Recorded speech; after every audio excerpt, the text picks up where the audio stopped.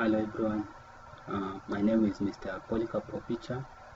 I'm a teacher and uh, in this section I'm going to teach you how to uh, do your submit your uh, returns. KRA has just announced and um, people are supposed to submit their returns for the year 2017 and uh, I'm going to show you how to do it. You can do it using your school laptop. You can use you use your own laptop and I'm going to show you how to do it. Now, before you submit um, KRA iTax, there are some things which you must have. One of them is a P9 form, like this one. It's a P9 form. A P9 form which will show uh, all the things which are supposed to be filled. Uh, for a teacher, this one uh, will have these details. For P1 teacher, or any teacher will have this subtotals, we have the taxable pay, we have a pension, we have pay, uh, pay auto, we have all these details here. So I'm going to use this one to show you how to submit your returns. And uh, these are the details which is required. So this a P9 form, an example of P9 form. And nowadays TSC has made it easier. We no longer have manual P9 forms, so you're just going to log into your payslip and you get this one. Or you can uh, print it or uh, you can even choose to, uh, to to take a screenshot. Like this one I took a screenshot of my P9 form which I can use to submit my return. Uh, the other thing that is required is this form. Of this form here uh, this form uh, is individual resident return and this form is new. And um, you must have this form for you to be able to submit your return. I show you how you do it is if you don't know how to get this form you can follow the link on your on the screen and you'll be able to download the form direct from that link. Follow the link that is shown on the screen from our website which is arena.co.ke uh, you follow that link you'll be able to download the form. This form is there. It is just written KRA iTax form. Go there and you download it. You'll have this form. This form is a must for you to be able to submit your return. Now for you to be able to submit your return, you must make sure that your computer is installed with Microsoft Office packages. So Microsoft Office, Office packages must be there. So this Excel sheet which uh, you're going to use to submit your return. So let me open this form here so that you can see what is happening. Now, when you open this form, you'll find that you'll be required to do certain things required to do certain things. You might get something like this, security warning, macros have not be, have been disabled. Enable content, click enable content, click enable content. If you don't get something like that, don't worry. Then you can click here. Please do not cut and paste anybody in the workbook. Click OK. Then the sheet will be ready. It has several pages. We have this area here which directs you. For example, if you open this sheet and you get a problem that uh, micro uh, macro is, is, not enabled, you're supposed to follow this procedure here to enable macro. So you're going to click File to enable macro. If it is not enabled, you must enable macro. This form is macro enabled, so must enable macro for you to be able to work with this form. To do that, you click on File, then you go to you you, you go to after clicking file. Uh, you go to options here you click options. Okay. Then after that you go to trust center you click trust center. Okay. You go trust center settings here you go to click trust center settings. Trust center settings click that one. Then from there you can see macro settings which is here. Click macro settings. Then enable all macros click enable all macros. You click enable all macros then you click ok. Then click ok and close. The procedure is here as you can see. This for excel 2010 and above. Uh, so this is the procedure. If if it's not uh, if your computer is not uh, macro enabled you follow this procedure here. It's easy so we have this page here we have uh, this page we have this page we have this page have these are pages. Okay what these are pages? As you can see uh, this is the final page. So after this page which is for enable macro we have this page here which will show errors. In case you are feeling and have errors we showed all the errors. This is the basic info page. We should have basic information which you're going to fill then uh, we have uh, employment income we're going to fill all the uh, details here for the for the income. Uh, here continue. At the next page here we also have details here to be filled the same with here and the final one. So for to be able to submit your iTax return this form is a must. You must have this form. There's no option there's no shortcut. This is a form which you must have so I'm going to show you what you're supposed to do here. The first thing you're supposed to do here you are supposed to make sure that you have your P9 form okay? Then you click basic info go on to this page here basic info. Here you enter your your pin. So let me minimize this sorry. I got my P9 form here. Okay. So your pin is here. Your pin is here. So I go and take my pin there. So I come here. I type my pin here which is A 006 839 582V so this is my pin. Uh, type is original here. There's a drop down menu here where you can select. And make sure it's original not amended it's original. Make sure it's original. Then here do you have any income? Uh, the employment income? Just say no. If you have you can say yes. Do you have partnership income? No. It is no. Do you have a mortgage? Yes. And so on so fill these details here as you can see. Return period make sure it is 01 01 2017 to 31st of December 2017 that's the return period. Okay. Yeah. So this is the period where, where we are declaring our return our final return. Then uh, make sure you read the, the other details here if it's necessary you fill. Okay if it's necessary fill and you see what's happening. So after that I will click next. To go to the next page or I can click here. Here you're required to enter a pin of employer. Uh, employer is teacher service commission. Uh, this is the pin for my employer teacher service commission. You come here and you type the pin okay? Yeah you come here you type the name of your employer type the name of your employer. You come here. Now the gross pay. What's the gross pay the gross pay uh, this is the detail now supposed to the gross pay is the subtotals. You go to your P9 form here and you get the subtotals which is 300 and uh, 37,726 this now is where you're going to fill in the gross pay this one. We're going to fill in the gross pay so I come to the gross pay here and uh, I fill 300 and that's 7 um, 726 okay. Allowance and benefits 00 put everything 00 put everything 00 pension if in excess put 00 so this gross pay is the subtotals. This is the subtotals which is here the subtotals which is here okay? Yeah. So after that after that uh, you click next. Click next.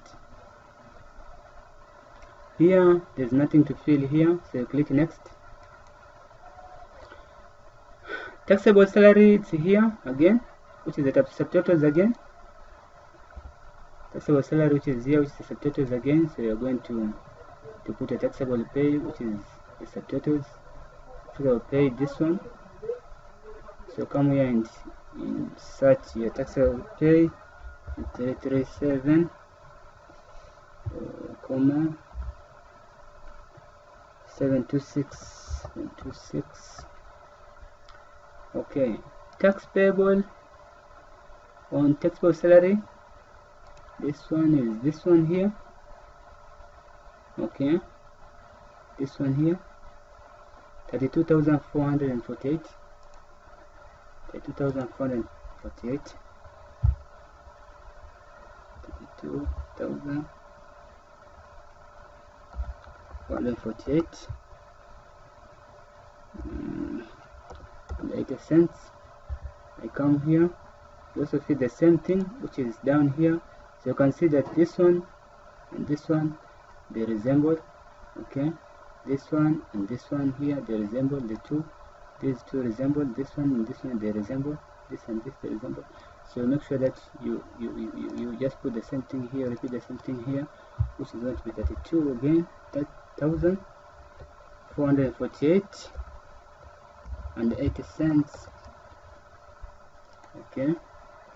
So taxable salary the same thing with the subtotals just like the gross pay is the same thing this one and this one is going to be equal they're just supposed to be the same.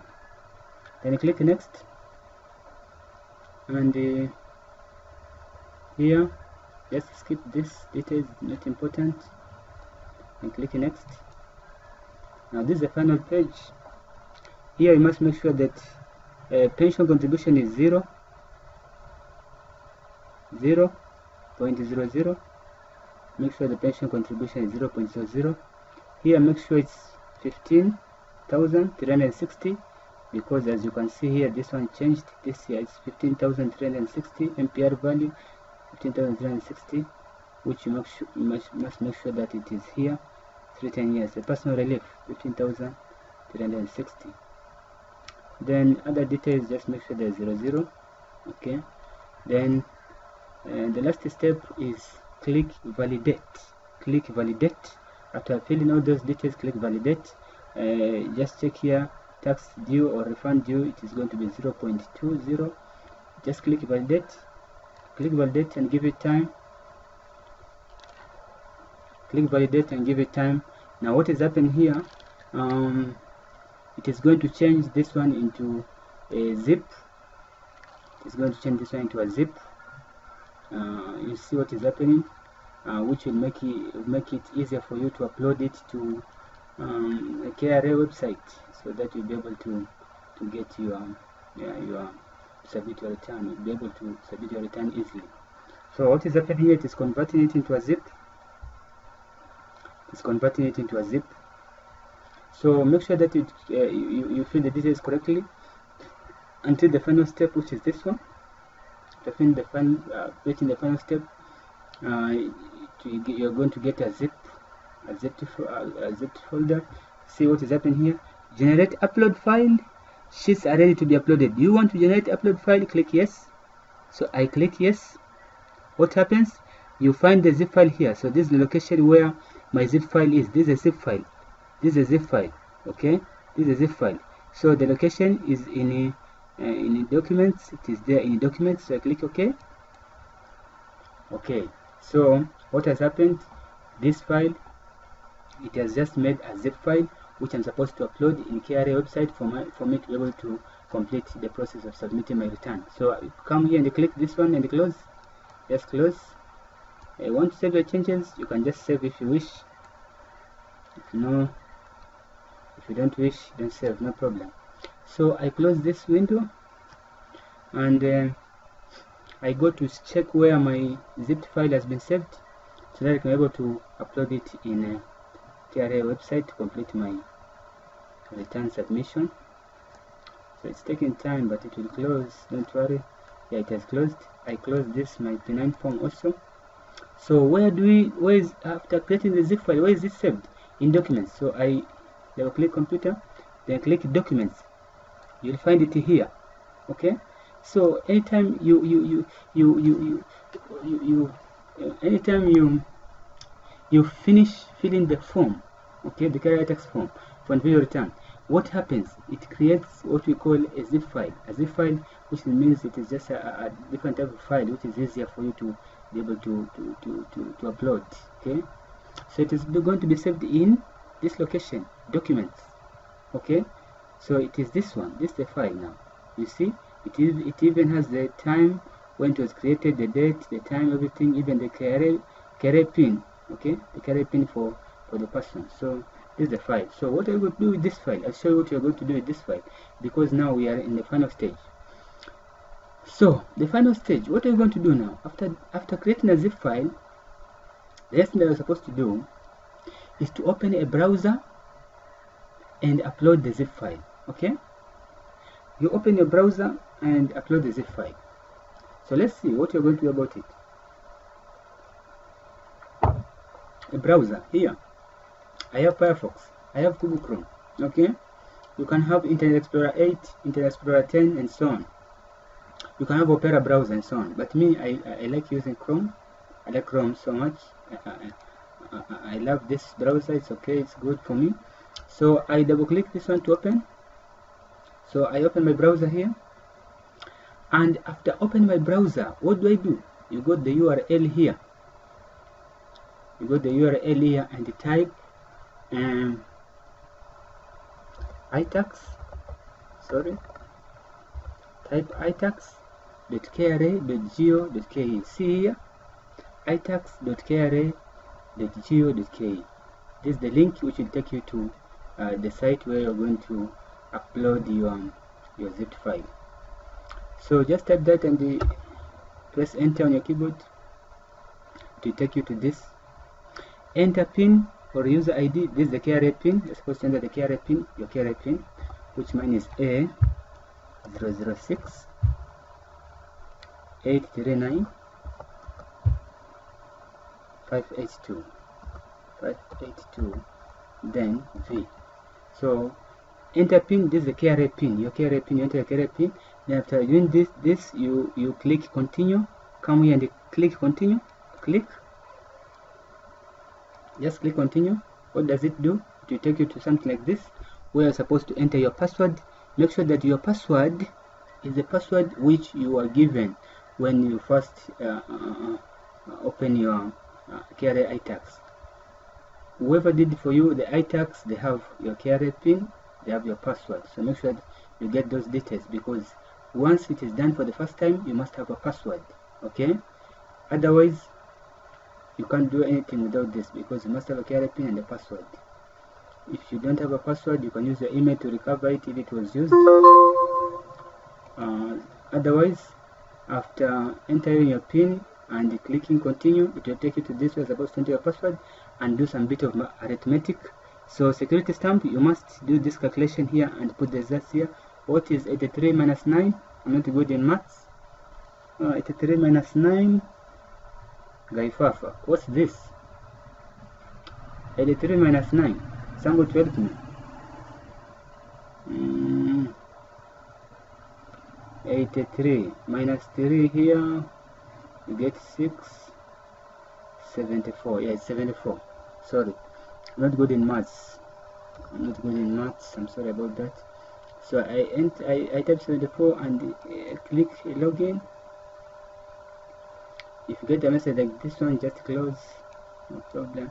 So after entering the right the right password and doing the arithmetic there and then you you you will be taken to this site.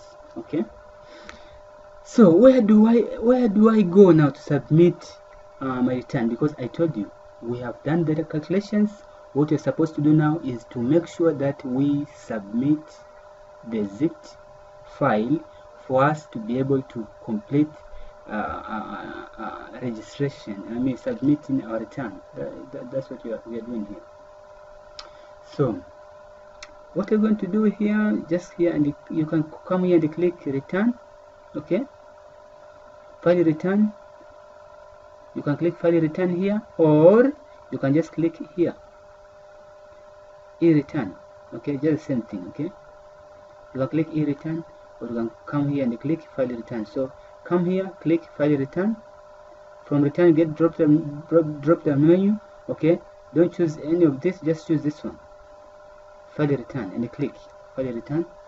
It will take to this. It will take to this. What type of return is this this one is supposed to be a safe return. It is a safe return. Uh, tax pin a tax pin is already there because you're, you're logged in. And the tax obligation is supposed to be individual. So come here and choose uh, income tax resident individual. Yeah income tax resident individual. This good one for for, for civil servants teachers and so on. Um, so after doing that click next. Just click next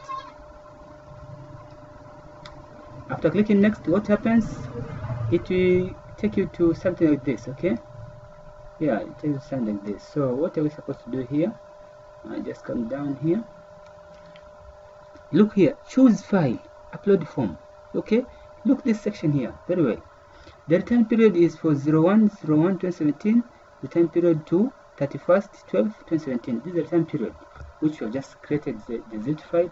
Now we are just supposed to upload the zip file okay so you come here upload upload form you come here and click choose file. Click this. It will open this thing here where you're supposed to locate your form and upload it. So mine where is it? Saved it is saved in documents. So I come and click, click documents. And uh, I go down here I'll find my zip file which is this one. Okay. You can click once then click open. You can or you can double click it so I click once and then I click open. Okay it is here now. Can you see? This is the file now. I've chosen the file and it is here now. Now I want to submit it. But you can't submit it until you agree to the terms and conditions the disclaimer. You can read all these things here if you wish. I'm too lazy to read. I'm too lazy, too lazy to read this all these things. So what I do I just click here agree. So I click agree. And what next you click submit. Just click submit. Do you want to upload the form? Click ok. Okay what happens? It's uploaded? Yeah. Return receipt generated. Return submitted successfully. With the acknowledgement number this this. If you get this one know that you are good to go. So I close this small window here. What do I do download the returns receipt. You must download your receipt. This receipt. So click download the returns receipt to download the receipt. So I click this one. It will download my receipt which is here it's downloaded. Is the receipt here. So if I double click it to open you see this is my receipt now. Okay? This is my receipt here. Frederick Chango Mulwa okay. My details everything. This is my receipt. I've submitted my return and I'm, I'm good to go. It's okay. It's as easy as that I don't know why teachers are getting problems. You run up and down in a cyber and what what people are eating your money for nothing. I just use 20 bob here and I've finished my work. You have school laptops. What are they being used for? Watching movies. Don't make me laugh. You can't use a laptop to watch movies you must do do do, do all those things you're supposed to do in your school. Cheaper everything even including this one. You're supposed to do it. Not just watching movie and listen to, to music. You have a tv at your home you can do that. Now this the, the acknowledgement receipt okay? So this acknowledgement receipt which shows that you have finished submitting your return okay? So i close this window and i finished i've my return. I have my receipt. It's downloaded i come here to download. I get this receipt. It's written receipt this one. Acknowledging my receipt. It shows that I have successfully submitted my return and this is the evidence which I get which is a, a return. Acknowledging the receipt. Just evidence to show that I'm through with this. Okay? So I don't have to worry. You don't have to, to I don't have to worry because I'm, I'm done. Just done about this so guys I just wanted to teach you teachers to do this thing for yourself. Instead of running up and down giving people money for you you, you, you have better things to do with your money rather than give it to people. Otherwise i'm through. If you got any query please contact us. Our number is there. Our website is there. Our email is there. Just contact us. Shall help you. Of Teachers Arena, I'm Paul Opicha. I say thank you. See you next time.